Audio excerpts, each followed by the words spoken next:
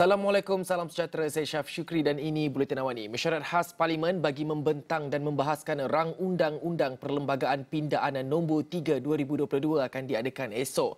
Sidang khas itu merangkumi mesyuarat khas Dewan Rakyat esok dan mesyuarat khas Dewan Negara pada Selasa 12 April. Pembentangan dan perbahasan itu melibatkan pengubalan punca kuasa di bawah Perkara 10 Perlembagaan Persekutuan bagi memberi kuasa untuk pengubalan akta baharu berkaitan larangan ahli Dewan Rakyat bertukar parti.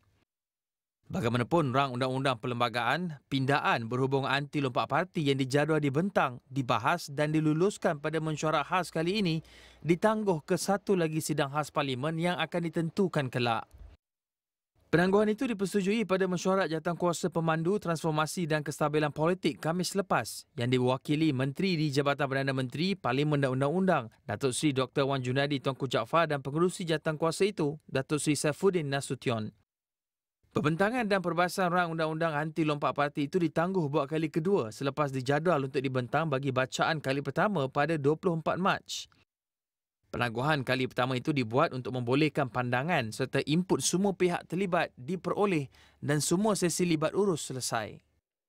Wan Junadi sebelum ini dilaporkan berkata beberapa cadangan pindaan perlembagaan akan dibentang semasa persidangan Dewan Rakyat Mac lepas termasuk rang undang-undang berkaitan anti lompat parti dan menghadkan tempoh jawatan Perdana Menteri kepada dua penggal. Ia selaras saranan Perdana Menteri Datuk Seri Ismail Sabri Yaakob yang mahu rang undang-undang itu disegerakan selepas kerajaan memeterai memorandum persefahaman MOU Transformasi dan Kestabilan Politik bersama Pakatan Harapan pada 13 September 2021.